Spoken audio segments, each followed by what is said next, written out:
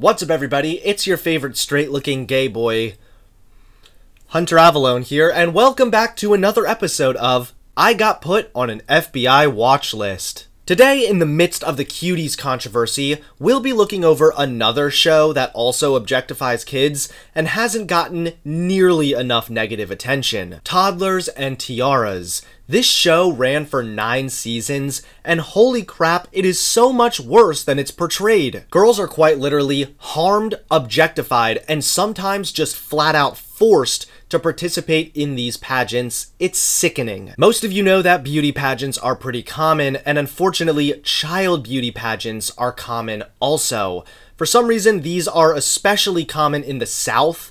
I don't know why, but it's the South, so it makes sense. If I could summarize it, Toddlers and Tiaras is basically just trailer park trash Pedo Edition. It's a documentary series by TLC that follows underage girls participating in beauty pageants. Personally, I think every parent who lets their child participate in something like this is a bad person. I think TLC is exploitative by broadcasting and normalizing this garbage, and I think this is just another blatant display of underage girls being sexualized that needs to end. So today, let's go over Toddlers and Tiaras and analyze why it's one of the worst of reality TV. The episode I chose to watch began with introducing the pageant coaches and the multiple contestants, young girls ranging from the age of literally 1 to 5 years old, far too young to be doing this kind of thing. The very beginning of the episode not only depicts young girls dressed far from appropriately, but it explains just how serious these pageants have become about the appearances of these young girls, even going as far as to give them spray tans. We learned that one of the coaches won a pageant when she was two years old, which I think is kind of ironic because this woman admits that she cannot hold a relationship, and it's also pretty obvious this chick has implants in multiple places. Kind of sad that she was exposed to this type of environment as a child, and now as an adult, she's hung up on the superficial. However, it's not surprising. We also learned that this jungle pageant is approaching with a new mega ultra grand prize thing. What used to be known as the Ultimate Grand Supreme is now the Mega Ultimate Grand Supreme. Yeah, so both teams are gearing up for the competition. The first 10 minutes does a great job depicting why this show is just the worst. They spend so much money, time, and energy on training these girls to look, quote, sexy, or at least unnaturally, quote, beautiful. It's actually pretty sad because teaching girls at the age of four or five that their worth is determined by their appearance is not healthy at all. But that's what this show is all about. They get spray tans, they get hair extensions, their eyebrows are waxed, they wear an excessive amount of makeup and false eyelashes and skimpy outfits, and it doesn't even stop there. According to Good Therapy, as with adult pageants, child beauty pageants often require the child to diet in order to lose weight quickly to fit in a costume. They also go on to say that when it comes to child beauty pageants, pageants suggest to young children that there is value in focusing on their appearance as judged through the eyes of others.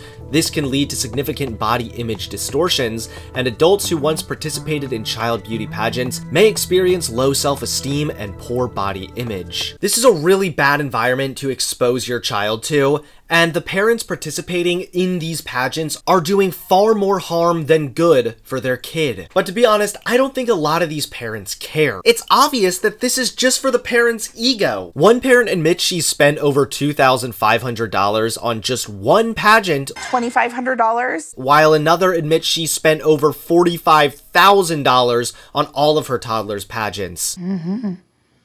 Probably around 45000 Bye bye college education. It seems that beauty pageants were more important. Children can't enter pageants without their parents' blessing, so involvement ultimately hinges on parental choice rather than the child's. In a new paper published in the Journal of the American Academy of Child and Adolescent Psychiatry, University of Arizona professor emphasizes this point. She calls the phenomenon princess by proxy, explaining that the real attraction of pageants is for parents who can gain social status, self-esteem, and money when their children participate. This is depicted pretty clearly when one of the contestants' moms admits that she's spent more on pageant dresses than she did for her own wedding dress, and even more so, she's holding off dental work because she keeps signing up for pageants. Some of the dresses they have, like I didn't even spend that much on my wedding dress. I actually have dental work that I need to get done. Like I'm not even kidding. There is a hole in my tooth right now. I haven't gone to the dentist yet because I keep signing them up for pageants. Yeah, do you think this is some kind of bold sacrifice for your child? Or do you think she's gaining social status and self esteem by pushing her children into these events? Some of the contestants shown in the episode I watched were just so unbelievably young, also. Like, this three year old can barely talk, yet she's getting her face caked with makeup in order to have her appearance judged. It's really gross and uncomfortable. From this point on, we meet more sassy parents and their child contestants, and we see some footage of the girls getting coached.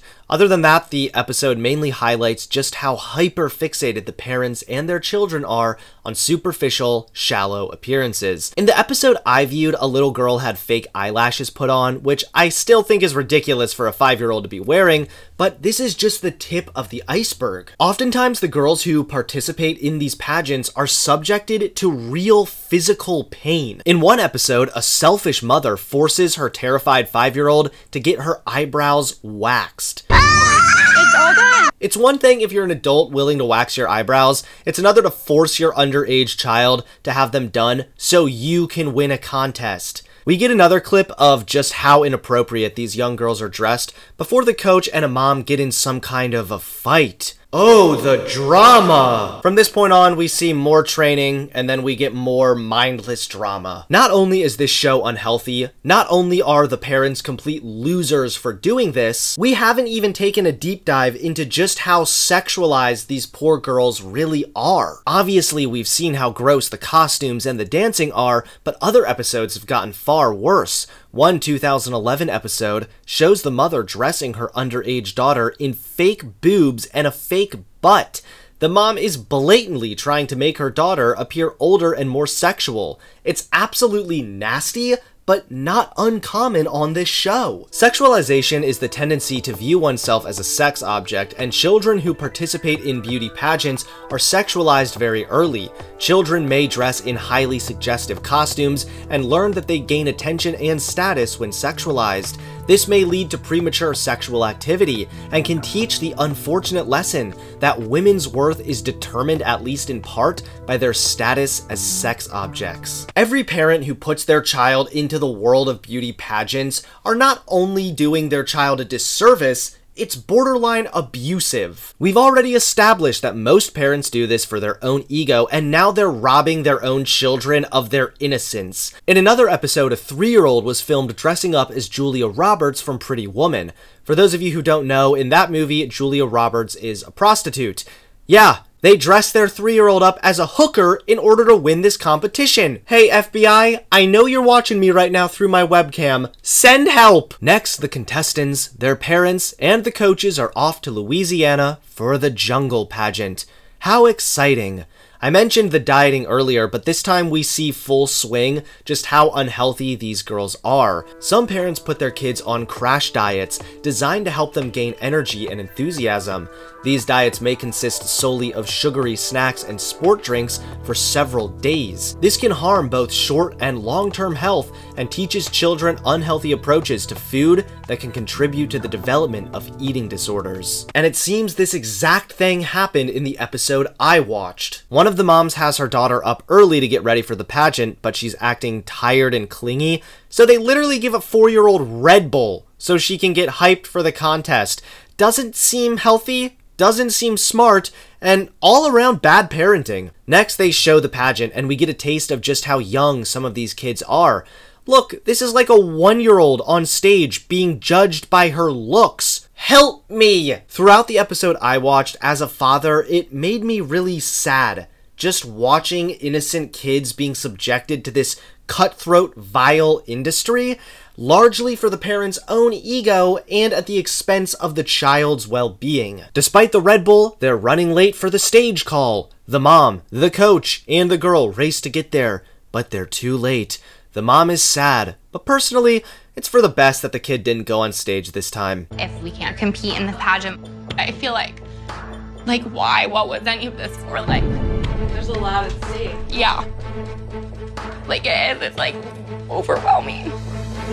I agree that all of this was for nothing. Even if your kid won, it would all be for nothing. You're wasting your money and you're compromising your child's innocence for this stupid little pageant. Just stop. Get some help. Tantrums and meltdowns by children and parents alike are common backstage at beauty pageants, and long term participation in pageants can teach children that their primary source of worth is how many pageants they win and how, quote, beautiful they are perceived to be. Learning the alphabet, empathy, social skills, athletic pursuits, and other age appropriate activities may take a back seat in the world of pageants. All in all, this show is horrible, vile, and sexualizes children. Throughout this episode, we saw just how sexually these girls were dressed, and we saw just how much pressure is put on these girls from the parents to compete even if you aren't one of the parents who allows their toddler to dress provocatively, creating this environment where the most important thing for your kids is how they look through the eyes of someone else is so dangerous and sets these girls up for failure eating disorders, and depression. Every parent who puts their child through something like this should be ashamed of themselves because it's borderline abusive and it's absolutely selfish. With the recent Netflix controversy surrounding the movie Cuties, I think the conversation about sexualizing kids needs to be taken up a notch. Yeah, Cuties was bad, but this show has been airing for nine seasons with very little moral outrage, despite the fact these girls are sexualized and sometimes even harmed in order to fit the mold of beauty the pageant demands. The fact that parents willingly sign their children up for this when they should be protecting their child from this is just sad and an indication that a lot of these pageant moms are all around shitty people. Even more so, whereas some girls seem to be excited about participating in the pageants, there are some who flat out say they just don't want to do it and their parents still force them to do it. I think even if your child wants to do something like this, it's your job as a parent to recognize the potential harms and recognize that a 3, 4, and 5 year old cannot ethically consent to such objectification and long term issues. Toddlers and Tiaras was so much worse than I realized, and the fact that it doesn't even have a 2 on IMDb warms my cold, dead black heart. No exceptions, this show, along with child beauty pageants in general, need to end. And the only way that'll happen is if the outrage is equally distributed, and we should all be angry whenever a child is sexualized. Wow, this crap is so gross, and the pedo shit is so nasty, I may just go full blown QAnon at this point. Don't worry, I'm just kidding. I may have watched Toddlers and Tiaras, but I'm still too far from being trailer park trash to ever believe this QAnon crap. Well, there you guys have it. Toddlers and Tiaras, the worst of reality TV. If you have another crappy piece of media you'd like me to review, comment down below. Thanks everyone for watching. Please give this video a like, comment below, and subscribe to the channel. I'll see you all soon. Peace.